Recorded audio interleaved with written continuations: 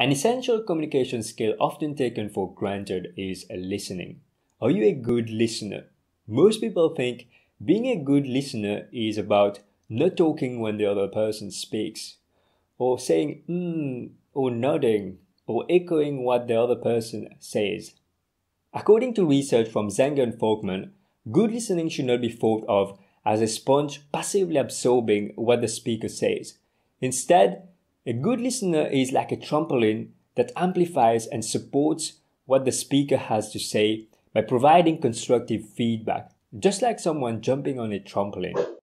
If you're new to this channel, hi, my name is Dr. Erwin. I'm a GP registrar. My mission is to help doctors lead happy and successful life.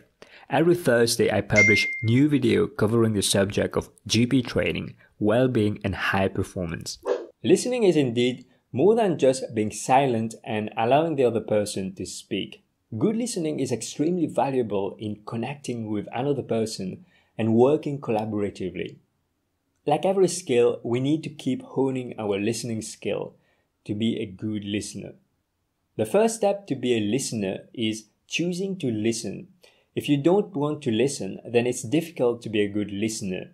So it starts by first committing to listen. People listen at different levels. When we make small talk, we may be listening at a superficial level.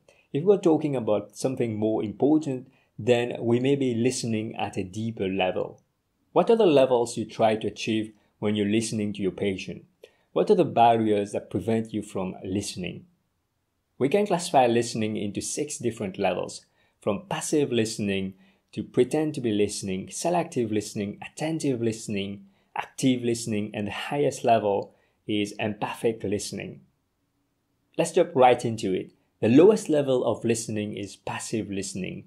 In passive listening, you're not making much effort to listen to the person. You're where the person is speaking, but you pay little attention to what is being said. You may be more concerned about when the person stops speaking so that you can interject in the conversation. The person may feel that he or she is being ignored. The second level is pretend listening. This is where you give the impression that you're listening. You may give verbal or nonverbal indicators that you're listening when you're actually distracted by something else. You may say to the speaker, mm, I can hear you. I see what you're saying. But you're actually thinking of something completely different.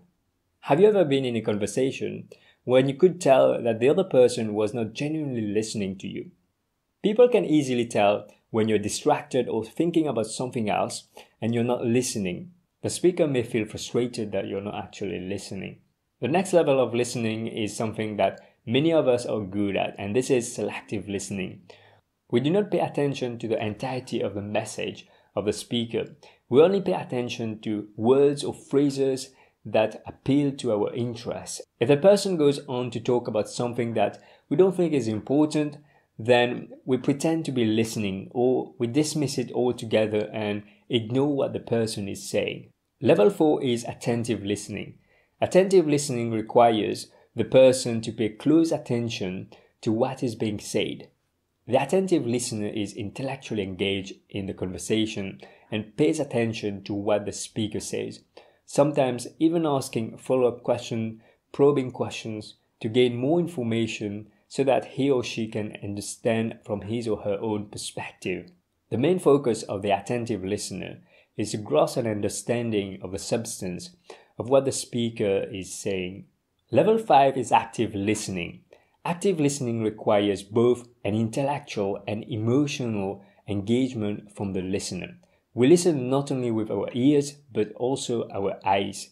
We pick up verbal and nonverbal cues from the speaker facial expression, tone of voice, or any gestures, any body language that the speaker might be expressing. Active listeners acknowledge what the speaker says and validate the emotions. They also ask very good questions. Active listeners listen to comprehend the speaker so that they feel heard. They may reflect back to the speaker to show understanding, such as, I hear your pain. Last but not least is empathic listening. This is the highest level of listening. To be successful in empathic listening, we need to give time and our undivided attention to the speaker. Empathic listening requires the listener to be non judgmental. It doesn't mean that we agree with everything the listener may say, but we need to be willing to step out of ourselves and step in the shoes of the other person to not only understand the thoughts, feelings, and emotion of the other person, but to empathize with the feeling, the experience, and to see it from the person's perspective. Let me share a story with you.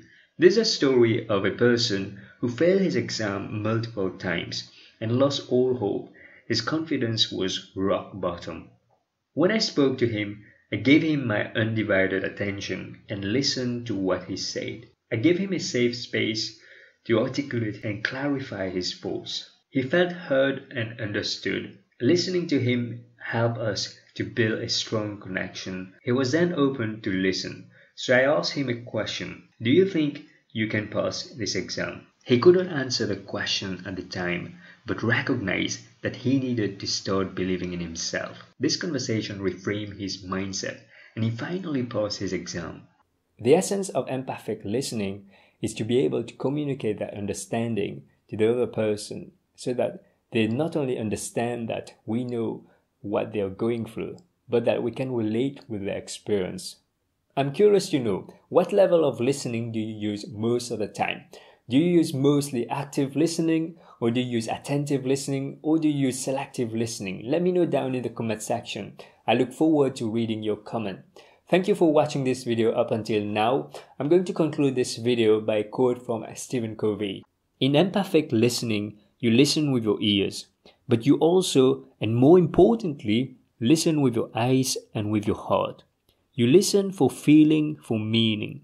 You listen for behavior. You use your right brain as well as your left. You sense, you intuit, you feel. If you like this video, make sure you smash the like button to help this channel to grow. This also encourages me to make more videos like this. If you've not already subscribed to this channel, make sure you subscribe for more videos so that you don't miss any future videos. And don't forget to ring the bell so that you're notified each time I publish a new video. Take care everybody. Bye bye.